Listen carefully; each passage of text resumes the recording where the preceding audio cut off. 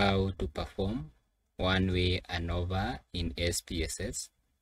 What you need to know is just in ANOVA, we compare mean of more than two samples or more than multiple samples.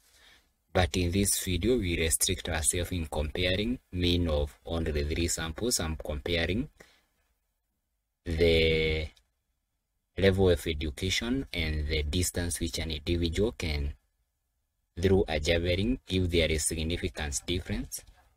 What we need to do to perform one way ANOVA is just click the option analyze then move to where we have compare mean. After moving to where we have compare mean we move to where we have one way ANOVA, then we click the option. So let me remove this option. I had put them later so that I can explain to you what we are doing so when you open it you get your data like this so our dependent variable in this data set is the distance which the individual can throw the javelin. That one is the dependent variable. But the factor variable is like similar as independent variable. Our independent variable is the level of education of the players. So I put it as the factor. That is the factor determinant from there we will come to where we have construct no we come to where we have post hoc.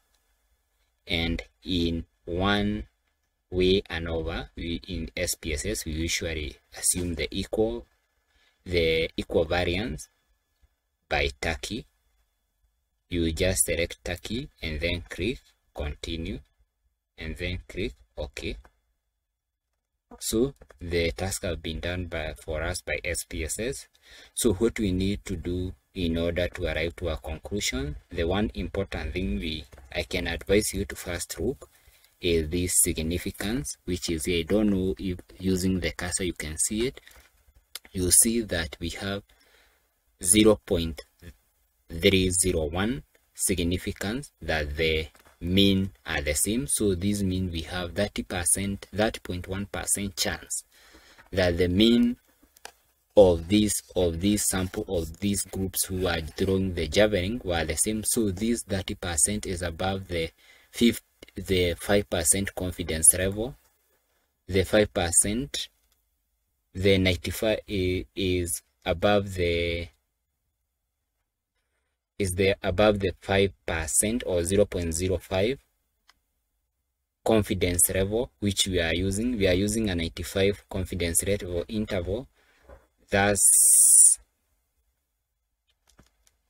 why am i missing out